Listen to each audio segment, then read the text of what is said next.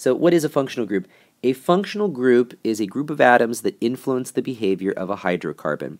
So that, remember, we're in the boring world of hydrocarbons, hydrogen and carbon. And when I use the term boring, I just mean that we've, we've kind of done every type of hydrocarbon you can possibly imagine. But here's the thing there is an entire realm out there beyond hydrocarbons in organic chemistry of other atoms. I mean, some compounds have oxygens in them or nitrogens or have, you know, a certain array of different specific groups. And so we call those specific groups functional groups. And yes, they change the chemistry of the molecule dramatically. Okay, so there are seven of them. Yes, you're going to have to memorize them, and you're going to have to be able to identify them. The first of which sounds like a very common one alcohol. All right, what is an alcohol? An alcohol is an OH group, okay, that is added to a hydrocarbon. That does not mean that hydroxide, OH minus, is an alcohol. It is not. But we're talking about bonding an OH to a hydrocarbon. The way you can identify an alcohol is that all of their names end in all. So what are our examples? All right, we're going to talk about ethanol first, and then we'll also do propanol. So put these both down, propanol and ethanol. So just from that, how many carbons do you think these things have? Ethanol, you probably guessed it. Ethanol has two carbons. So we have CH2 OH. All right, so that is ethanol. It looks exactly like ethane, but we dropped an H and we added an OH. So what can you think about propanol then? What do you think propanol looks like? You probably guessed. It looks just like propane, but again, you add an OH. Okay? Now, if I wanted to draw this as, you know, like a line structure or something, I could do that too. So what does ethanol look like? Well, it would look like like that. So this is a carbon, that's a carbon, and then that little tag OH, that is our OH group being attached to it. So for propanol, it would look something like this. Again, one carbon, two carbon, three carbon. That last little line is just attached to an OH. Carboxylic acids. All right, now carboxylic acids are, first of all, really, really cool. But carboxylic acids are represented as this. All right, now you might think, what the heck? Yeah, it's a double bonded oxygen and then an OH group. Now, here's the thing that people get confused about. They're like, wait a second, OH, that's alcohol. This entire group is called a carboxylic acid. Uh, so this technically is not an alcohol on its own, and as we'll find out in a little bit, this technically is not a ketone on its own. They're acting together as one group, okay? So uh, don't get those kind of confused. Just because you see an OH doesn't necessarily mean it's an alcohol unless it's not attached to anything else. If it's attached to a carbon with a double bonded oxygen, then that means it's a carboxylic acid. Sometimes it's abbreviated as COOH because that's what it would look like if you were actually writing out the chemical formula or something like that, COOH. They all end in oic acid. So anytime you see a carboxylic acid, it ends in oic acid.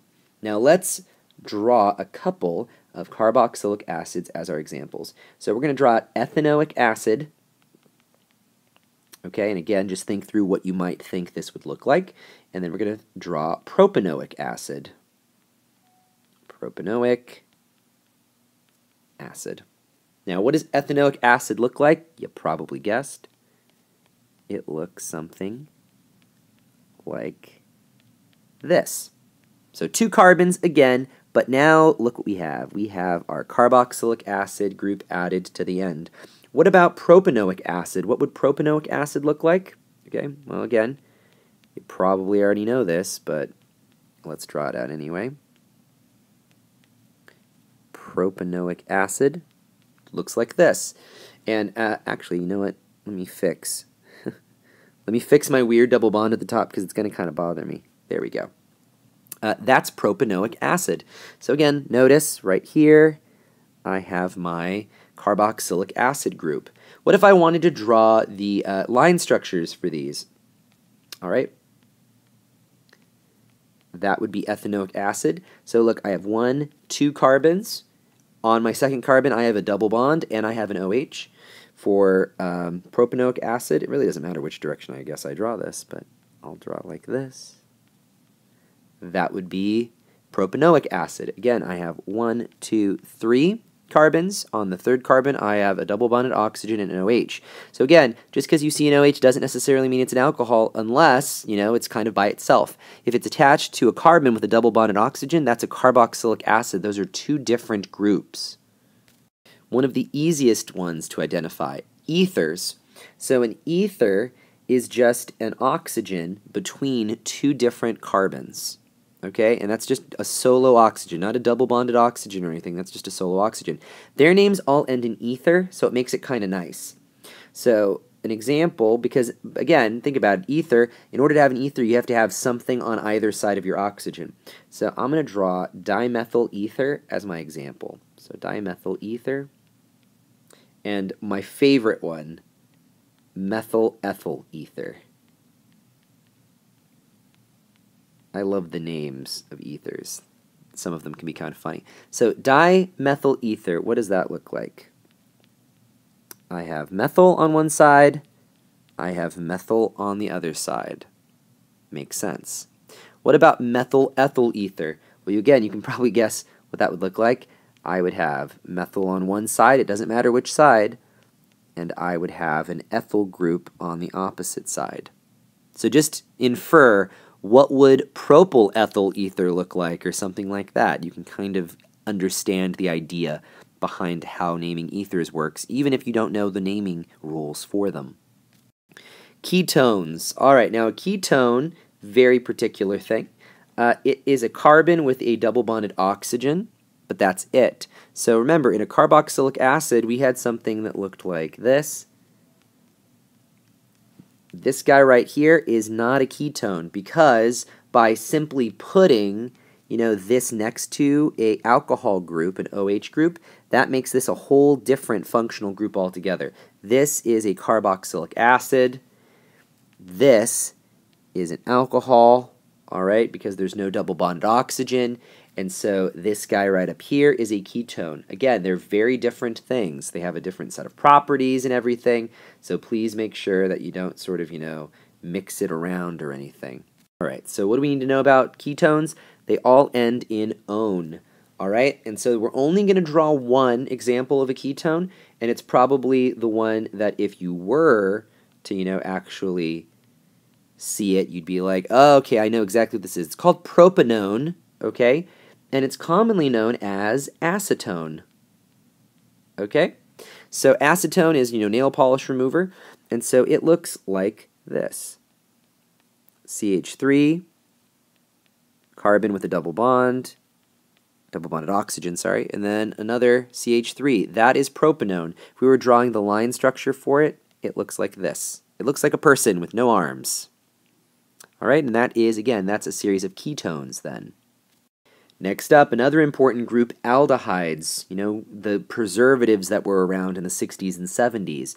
So aldehyde looks like this. Again, notice you got a double bonded oxygen, but you have a hydrogen at the end. Okay, so not the same thing as a carboxylic acid, not the same thing as a ketone. All right, they are very different things. They all end in al at the end. So we're going to look at two examples here, ethanal and propanal. Now, how am I going to do that? Okay, so I've got ethanal. How many carbons do you think that has? You probably guessed it. It's got two. And then I've got propanal. So all I've got to do is just add on my last bit here like this. Now I can draw the uh, I can draw the line structures for these two. I'll do those in blue. This is an example of what a line structure would look like for ethanal. And then for propanal, I'm going to draw it like this. That's what propanal would look like. Again, count your carbons. So one, two carbons, one, two, three carbons. That's the way that would work. All right, our next group, esters. Esters are cool. They have great scents to them. And by sense, I don't mean like common sense. I mean they literally smell. They are fragrant, and they actually smell normally pretty good. There's some bad ones, you know, bad smelling esters, but they're pretty good. So this looks like our ester group, okay? So it's C double bond O, and then another O. We sometimes abbreviate that as just COO, the same way that with carboxylic acids, sometimes we abbreviate COOH. Esters are similar. Uh, but again, they're very different, so make sure that you know the difference between them, uh, these different groups, not them. Uh, all right, so what do the names end in? They end in oate. All right, and that's how we can kind of tell the difference between them. So the two examples we're going to do, and we're only going to draw the condensed structural formulas for them, but methyl ethanoate, ethanoate, don't want to spell it wrong, and then propyl ethanoate, and they have pretty crazy names because they're actually probably the most complicated ones to try to remember the naming rules for, but that's okay. Uh, meth methyl ethanoate. So I'm going to draw that like this. All right, so I'm going to have CH3, and then I have, that is an O, double bond O, single bond O, CH3, like that. All right, and so this is my ethanoate group. This is a methyl group at the end here. All right, I'm going to do the same thing with propyl ethanoate. So you can probably see what that would look like. So that's my ethanoate group, and then all I got to do is add on a propyl group, and I hope I don't run out of room. It looks like I almost did, so I just moved it down. All right, so this is my propyl group. This is my ethanoate group.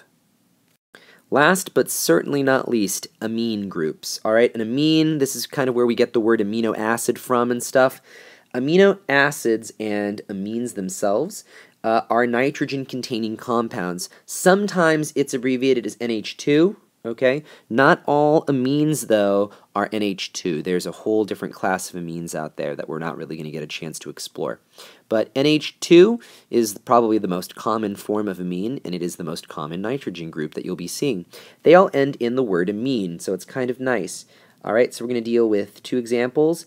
Ethylamine, again, you can probably figure out what that would kind of be and propyl. Propyl amine. All right, so what do you think that looks like? Well, for ethylamine, we've got CH3, CH2, NH2. Okay, and then for propylamine, I've got CH3, CH2, CH2, NH2. So right there at the very end, I have my amine groups. And those are the seven probably most important ones that we're going to be looking at. So now let's test our skills and see if we can identify them. It says identify the functional group below and also see if you can try to name them. So the naming part, not exactly that important, but what functional group do you see? All right, this is my functional group. All right, not just the CO, the CO, and then I have this nice little H here. All right, now which one is that? That is an aldehyde. All right, how would I name that? Aldehydes all end in al, and I have one, two, three, four, five. I have one, two, three, four, five carbons. So this would be pentanal, or a form of it, form of pentanal. All right, what about this guy? So right here in the middle, I've got an oxygen. What group is that? It is an ether group. Okay? And so how do I name ethers? They all end in ether, but I have to tell what's on both sides of the oxygen. So what are those groups called? They are ethyl groups. And I have two of them, so I have diethyl ether. All right, next up. Let's try this one. So that one in the middle there. I've got a C double bond O. What do we call those? What do we call them? We call them a ketone. All right, now if I wanted to try to name this, uh, these ones are kind of hard. But I've got one, two, three, four, five, six, seven. So I know I have hept somewhere. And these all end in one. So I know I'm going to have heptanone. Now, how am I supposed to identify where that is? Well, if we're following sort of, you know, our naming rules and stuff, this would be 3-heptanone. I'd have to number my carbons and everything. But anyway, just as long as you can identify it, you're good. So if you have any questions, make sure you ask tomorrow.